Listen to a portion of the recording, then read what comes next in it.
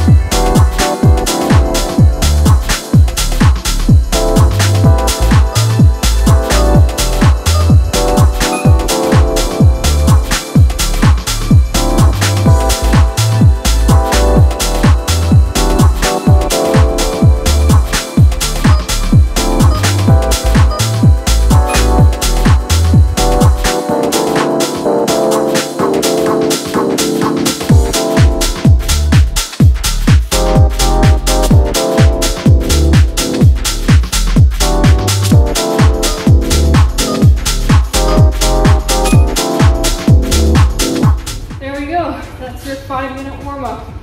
Now you're ready for any workout.